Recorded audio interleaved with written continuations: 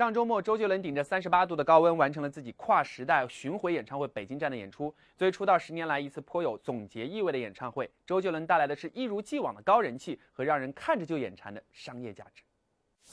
周杰伦北京演唱会当天，其实有两个不利因素：一是当晚有世界杯的四分之一决赛；二是北京高达三十八度的桑拿天。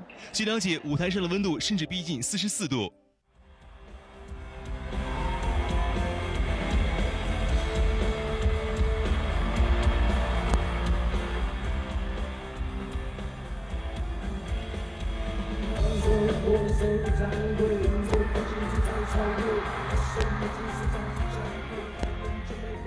演出开场，周杰伦从半空中出场，穿了严严实实，还要穿插一些舞蹈动作。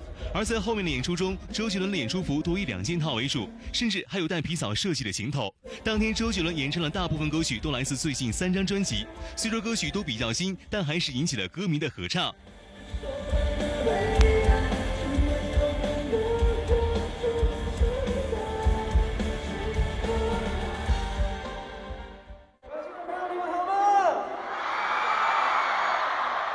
开心呢！这次你们来参加我的演唱会，上次唱一些新歌，跟一些经典的旧歌。当天我们还发现，周杰伦演唱会中的商业植入超过了以往任何歌手。看看现在拥有几十个代言的周杰伦演唱会的舞台吧。作为演唱会的赞助商，这些品牌的 logo 大大方方的成为舞台意境，而这两块大屏幕上，周杰伦代言的饮料、电视、汽车、手机卡等广告在开放前就循环播放。尽管周杰伦一年来没有音乐方面的工作，但人气依然不减。工人体育场周边从当天中午开始，因人流渐多，就开始了堵车现象。在现场，我们更是看到了不怕中暑的日本歌迷和低调前来观看的明星歌迷张雨绮。